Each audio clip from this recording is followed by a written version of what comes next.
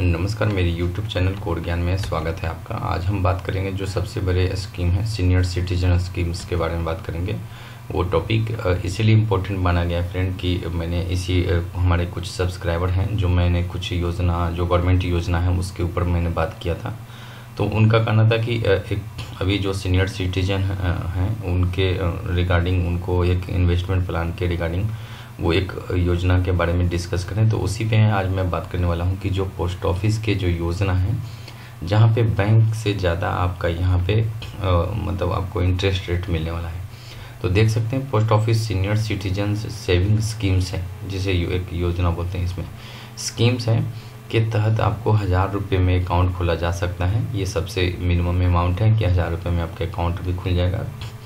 और यदि इस स्कीम से ज़्यादा से ज़्यादा तीस लाख रुपए तक आप निवेश कर सकते हैं। तो जैसा कि कोई रिटायर करके आते हैं, कोई रिटायरमेंट के बाद आते हैं और उम्र उनकी हो जाती है पचास साल से ऊपर तक का तो उनके लिए बहुत ही ये बेहतरीन स्कीम्स है और आपका जो इसमें इंटरेस्ट रेट है, आप देख सकते हैं, आप निवेश कर सकते हैं इस स्कीम में। पर आपको करना क्या है कि निवेश में जो स्कीम है, आपको जब मिलेगा तो एट पॉइंट टू का जो सालाना ब्याज मिलता रहेगा इसमें यदि मतलब एक आप, एक लाख रुपये आप जमा कर रहे हैं इसमें तो लगभग दस परसेंट जो मिल रहा है, दस हज़ार रुपये हर महीने आपको यहाँ पे मिलने वाला है। वही देश के जो सबसे बड़े बैंक है, एस की बात करें तो जहाँ पे यदि आप एफडी करते हैं, जो फिक्स डिपॉजिट है, जो सीनियर सिटीजन के लिए रखा गया है, वहाँ पे सेवन पॉइंट फाइव का है। तो मतलब साढ़े सात है और ये आठ से ज़्यादा का है। तो मतलब एक तरह से ये बेहतरीन प्लान है, जो स्कीम्स हैं, आप इसके अकॉर्डिंगली आप पैसा जमा कर सकते हैं। बेसिकली क्या होता है, जो रिटायरमेंट करते हैं या जो सीनियर सिटीजन पर्सन है, उनके पास जो इन्वेस्टमेंट प्लान होता है, उनके पास जो अमाउंट होता है, वो क्या करते हैं? इधर उधर यदि कहीं यूज़ हो गया, किसी और को दे दिए, किसी फ़ील्ड में लगा दिए, कोई मकान बना लिया, कोई बिल्डिंग बना लिया, कोई जगह खरीद लिया, लेकिन उससे बढ़िया है कि आपको हर महीने दस से पंद्रह हज़ार रुपये, यदि लाख रुपया भी है तो आपको दस हज़ार रुपये तक मिनिमम मिल सकता है इसमें। अब आगे बात करते हैं कि ये कैसे, क्या है, पूरी तरह डिटेल बात करते हैं इस टॉपिक पे। कि सीनियर सिटीजन सेविंग स्कीम्स जो है, निवेश करने के जो लाभ क्या है इसके? तो सबसे कि गारंटी रिटर्न है। आपको यहाँ पे इन जो रिटर्न जो है पैसा, वो आपको मिलेगा ही मिलेगा। तो ये जो एस जो एस सी डबल एस है स्कीम्स हैं, यदि आपको लेना है ये स्कीम्स मैं आगे पूरी बात बताऊँगा, पूरी डिटेल में बताऊँगा आपको कैसे करना है, कहाँ से लेना है आपको ये। तो भारत सरकार द्वारा गारंटी प्राप्त है यह ये वरिष्ठ नागरिकों के लिए जो सबसे सुरक्षित विश्वसनीय निवेशक विकल्पों में से एक ही है। मैंने आपको बताया था कि आप बैंक में इन्वेस्टमेंट करो, कहीं पे भी इन्वेस्टमेंट करो, उससे ज़्यादा आपको यहाँ पे इन्वेस्टमेंट मिलने वाला है फ्रेंड आपका।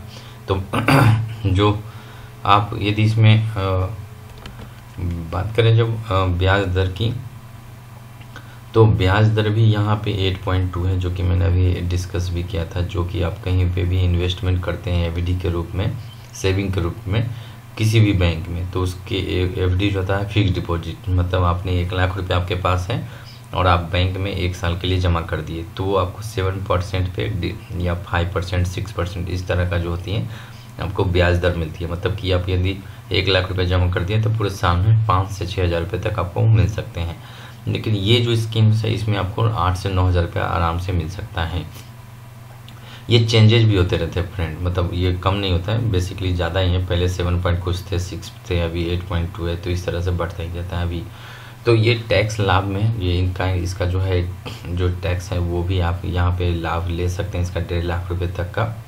जो सरल निवेश है, बिल्कुल इजी है, आपको कुछ नहीं करना है। आप किसी भी, जो अधिकृत बैंक या कोई पोस्ट ऑफ़िस है वहाँ पे जा कर के आपको ये स्कीम्स के लिए इन्वेस्टमेंट करना है, बोलना है कि आपको जो सिटीजन जो है सीनियर सिटीजन सेविंग जो S C double S S तो इसको अकाउंट खोलने के लिए आप करना है।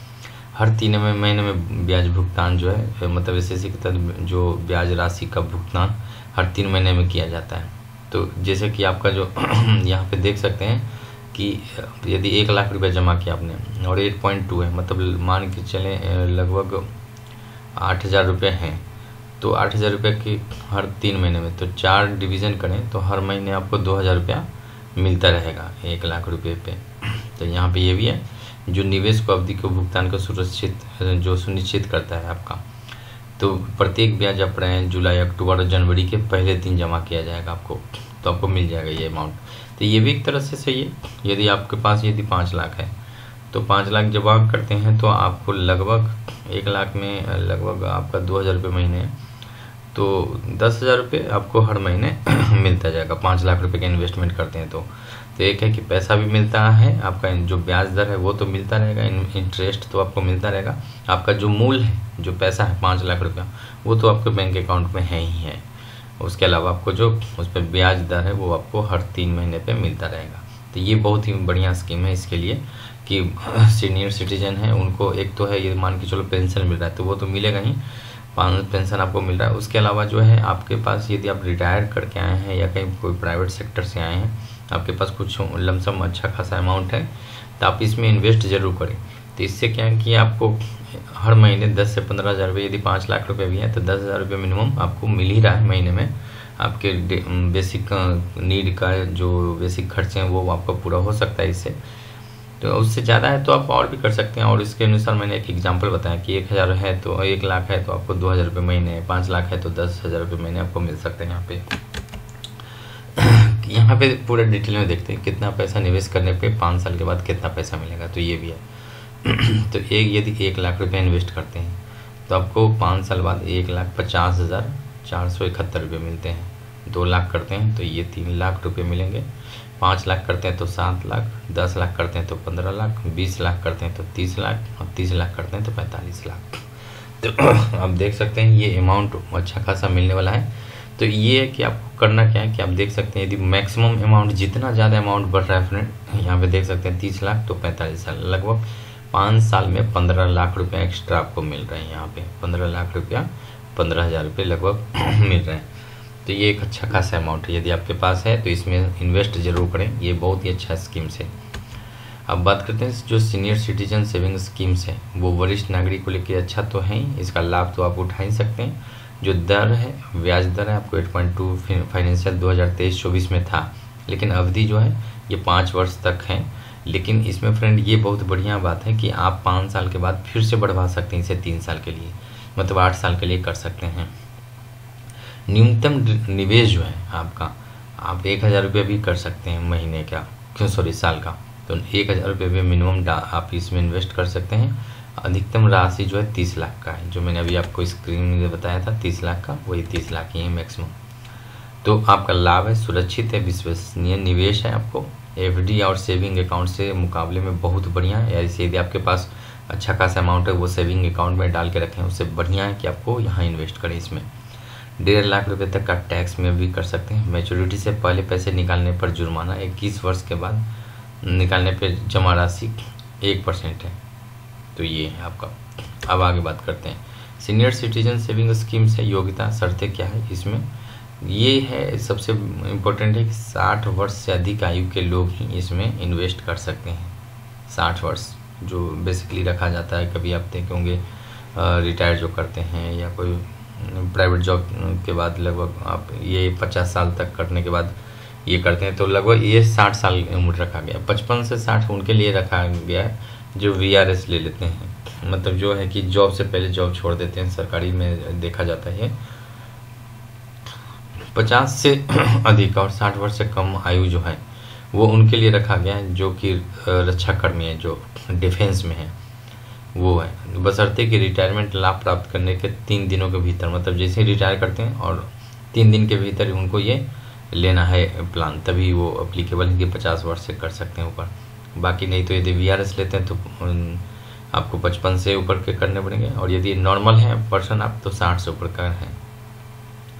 नियम, ये पूरा राज्य सरकार और केंद्र सरकार सभी जगह, कर्मचारी, पति, पत्नी, किसी की सहायता ये है, जो पति पत्नी को जो वित्तीय सहायता राशि, मृत्यु, मुआवजा आदि का निवेश करने की अनुमति देते हैं, जिनकी ड्यूटी के दौरान मृत्यु हो गई है बसरते मृत्यु कर्मचारी के 50 वर्ष से उससे अधिक हो, बस। तो ये है। अब बात करते हैं सीनियर सिटीजन, सेविंग स्कीम्स के बाद आधार, पैन कार्ड अनिवार्य है, ये तो हर जगह होता है, कि आपको यहाँ वित्त मंत्रालय के अनुसार जो पोस्ट ऑफ़िस, स्कीम या अकाउंट खोलने के लिए आपको अपना आधार और पैन कार्ड देना अनिवार्य है। इसके आप जो आपसे आपके पास जो है वो आधार कार्ड ही जो है नहीं है। यदि तो आपका अकाउंट खोलने के लिए इनरोलमेंट का प्रूफ या कोई एक, और मतलब का आईडी होनी ज़रूरी है इसमें। और अकाउंट खोलने के लिए तारीख से छः महीने के अंदर आधार पोस्ट ऑफ़िस से जमा करना होगा। हाँ मतलब ये आपको यदि अकाउंट खुल जाता है तो छः महीने तक आप उसको एक आधार कार्ड बनवा करके जमा कर सकते हैं। नीचे जो दी गई है जानकारी, वो दो महीने की अवधि के अंदर भी जो भी हो, पहले वो पैन कार्ड आप जमा कर सकते हैं, पोस्ट ऑफ़िस अकाउंट से राशि पचास हज़ार रुपये से अधिक है तो आपको जमा करना होगा पैन कार्ड। किसी भी फाइनेंस ईयर, जो फाइनेंशियल ईयर है, यदि सभी क्रेडिट कुल एक लाख से ज़्यादा है तो फिर आपको करना पड़ेगा अकाउंट में हर महीने निकासी का जो ट्रांसफ़र है, दस हज़ार रुपये से ज़्यादा है तो भी आपको पैन कार्ड यहाँ जमा करना पड़ेगा फ्रेंड इसमें सीनियर सिटीजन जो स्कीम्स है वो कितनी राशि तक जमा कर सकते हैं? अभी आपको मैंने बताया था कि जमा करने के लिए जो है, वो आपका लगभग एक मिनिमम है, वो आप यहाँ पे एक हज़ार कर सकते हैं। और अधिकतम जमा पंद्रह लाख या रिटायरमेंट पर, प्राप्ति जो भी है, कम से कम ये होनी चाहिए मिनिमम सीनियर सिटीजन स्कीम्स है, वो आप यहाँ पे अकाउंट खोलने की तारीख पाँच साल के बाद वरिष्ठ नागरिक जो मेचोरिटी है वो कर सक निकाल सकते हैं। हालाँकि यदि आपको लगता है कि फिर से तीन साल बढ़वा सकते हैं तो तीन साल भी आप इसमें बढ़वा सकते हैं। सीनियर सिटीजन सेविंग स्कीम से अकाउंट कैसे खोलें? आपको ये आप देश के किसी भी बैंक या पोस्ट ऑफ़िस में जा के आप इस अकाउंट को खुलवा सकते हैं। सीनियर सिटीजन सेविंग स्कीम जो है, अकाउंट पोस्ट ऑफ़िस में खोलें। ये बहुत ही इम्पोर्टेंट, मैं आपको टॉपिक बता रहा हूँ कि जो भी योजना है, फ्रेंड, मैं बार बार ध्यान बताता हूँ इसको। कि अच्छे से अच्छे योजना जो है, वो पोस्ट ऑफ़िस में ही चलता रहता है। तो आप एक अकाउंट तो ज़रूर अपने पोस्ट ऑफ़िस में ज़रूर खुलवाएँ। अकाउंट खोलने पे फॉर्म भरना होगा। इसमें केवाईसी की कॉपी सबमिट करनी पड़ेगी। दो पासपोर्ट साइज़ फोटोग्राफ देना पड़ेगा। और आपका यहाँ पे अकाउंट खुल जाएगा। Senior citizen schemes bank account में खोलने, जो आपको यदि बैंक अकाउंट में खोलते हैं तो वहाँ पे जमा जो है, सीधे बैंक ब्रांच जमा करती से बात कर सकते हैं वहाँ पे। वो आपकी सारी डिटेल सबमिट करेंगे फ़ोन बैंकिंग सेवाओं के लिए ट्वेंटी फोर इंटू सेवन आप ग्राहक सेवा, जो कस्टमर केयर है उससे भी बात कर सकते हैं। बैंक जहाँ सीनियर सिटीजन सेविंग स्कीम से अकाउंट खोले जा सकते हैं तो कुछ ही बैंक को ये दिया गया है अपॉर्चुनिटी कि आप ये अकाउंट खोल सकते हैं ओपन जो आईसीआईसी बैंक है बैंक ऑफ़ बड़ौदा है syndicate bank Punjab national union bank of India corporative bank Canara यहाँ पे देखिए कॉरपोरेशन बैंक भी दिया गया UCO bank bank of India, Dena bank, Allahabad, Vijay I Andhra, state bank of India को भी रखा गया है इसमें। तो इसमें आप ये अकाउंट खुलवा सकते हैं। सीनियर सिटीजन स्कीम्स जो है, मैच्योर होने से पहले पैसे निकालने का नियम। यदि मान के चलो आपको पाँच परसेंट जमा, जो पाँच साल के लिए जमा करते हैं, यदि उससे पहले निकालना है तो आपको यदि तारीख से दो साल पूरा होने से पहले यदि आप बंद करवाना चाहते हैं तो 1.5 जो परसेंट है जुर्माना राशि काट करके पैसा आपको पूरा दे दिया जाएगा। यदि आप अकाउंट खोलने की तारीख के एक साल पूरा होने से पहले, आप एक साल पहले जैसे हुआ भी नहीं और आप बंद करना चाहते हैं तो आपको कोई भी ब्याज नहीं मिलने वाला है। कोई भी अकाउंट पे आपको ब्याज नहीं मिलना पड़ेगा और अकाउंट जमा राशि से ब्याज रकम वसूल कर ली जाएगी फिर।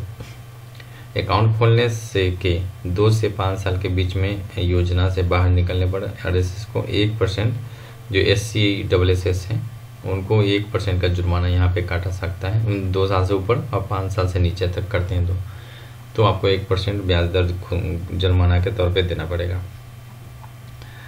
ध्यान दें कि अकाउंट खोलने की तारीख से एक साल के मतलब जो बाद है अकाउंट बंद करने पे कोई भी जुर्माना नहीं लगता है फ्रेंड यहाँ पे। अब आपको बात करेंगे जो ये जो अकाउंट होल्डर की मृत्यु हो जाने पे ये भी बहुत इंपॉर्टेंट होती है कि जो उम्र है, इस टाइम पे इन्वेस्टमेंट जो होती है, वो तो मतलब एक फ्यूचर प्लान सोच करके ही किया जाता है फ्रेंड लेकिन ऐसा ना हो कभी किसी के साथ, लेकिन यदि होता भी है, यदि कोई मृत्यु होती है या कोई इंसिडेंट होता है तो उसमें क्या है, सरकार ने क्या क्राइटेरिया बना रखा है इसमें? कि मैच्योरिटी होने पर अकाउंट के जो अकाउंट होल्डर उनकी मृत्यु हो जाती है तो अकाउंट बंद कर दिया जाता है फ्रेंड ये। और सभी जो मैच्योर इनकम कानूनी वरिष्ठ नियम व्यक्ति के द्वारा जो नॉमिनी होते हैं, उनके अकाउंट पर ट्रांसफ़र कर दी जाती है। मृतक जो है, वो दावा करना ज़रूरी है उनको अकाउंट को बंद करने के लिए, सुविधा के लिए। डेथ सर्टिफिकेट भी ज़रूरत पड़ती है उसमें। तो आपको डेथ सर्टिफिकेट यदि ऐसा होता है इंसिडेंट तो आपके पास होना ज़रूरी है, तभी अकाउंट बंद हो पाएँगे। जो ब्याज दर है एट पॉइंट टू जो टू परसेंट है, वो तो आपको मिलने वाला है। एफ़ डी में अदर उन्होंने कंपेरिजन में बता रखा है इसमें कि कंपेरिजन में आप करते हैं तो मेचोरिटी पीरियड है पाँच साल के लिए, यहाँ पे भी पाँच साल के लिए फाइव एफ़ डी करते हैं तो।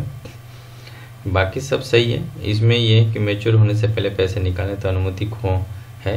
खोलने के बाद कभी भी, लेकिन जुर्माने के साथ आप कर सकते हैं, अनुमति नहीं है। एफ़ होता है जो फिक्स डिपॉजिट होता है। आप उसे हटवा नहीं सकते इसमें। मतलब कोई भी इसमें इंटरेस्ट फिर मिलेगा नहीं इसमें। तो ये एक मतलब बेनिफिट है कि आप इस अकाउंट को खुलवा सकते हैं। अच्छा खासा लमसम अमाउंट आपको यहाँ पे मिलने वाला है। आप जो इन्वेस्ट करते हैं तो एक पर्पस ऑफ़ द इन्वेस्टमेंट है आपका तो। और ये बहुत ही बढ़िया, बेहतरीन है। तो बेसिकली सीनियर सिटीजन जो है, उनके लिए ये वीडियो है।